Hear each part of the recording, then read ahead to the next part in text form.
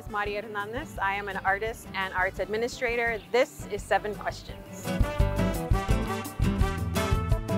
I make photographic self-portraits that deal with identity, and representation, and history. I think that one way to describe my work is that it's introspective because it comes from a place that is internal and sort of deep within to provide a sense of reflection.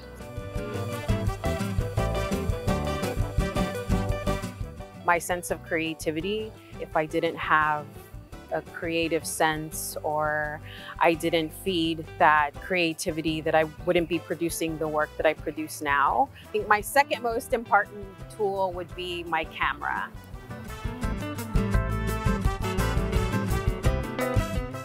Having uninterrupted time and space to think about what I want to make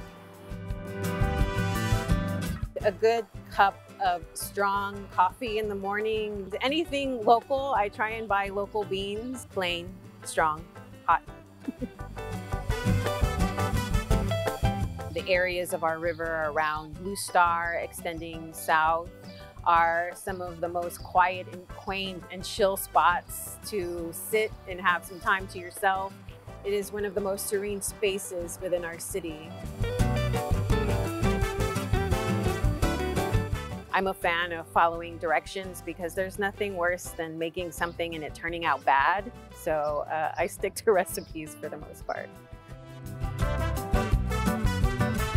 I'm leaving for uh, artist residency in Mexico City in a couple of weeks. And so I'm really excited about getting some uninterrupted time to create work and think about work and enjoy a wonderful place at the same time. This is the first residency that I've ever done, so it's going to be a whole new experience for me.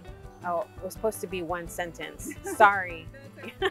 it's morning, so um, yeah.